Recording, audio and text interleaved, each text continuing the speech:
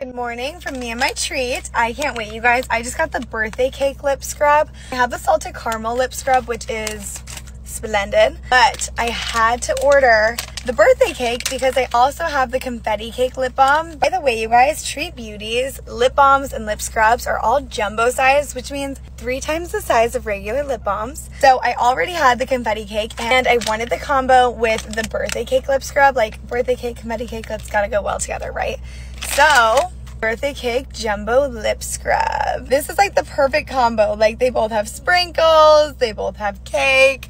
Also, we've gotten a lot of questions like how do you use lip scrub? Oh my goodness. Wait, I'm flipping the camera so you can see this. Okay, here's the birthday cake jumbo lip scrub with real confetti sprinkles. Do you see that? Like, no way.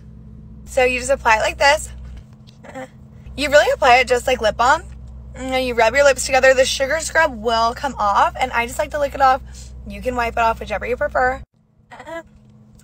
Mm. Now that I have a fresh set of lips, I do this literally every morning. I apply the lip balm. The confetti cake is so good. And there you have it.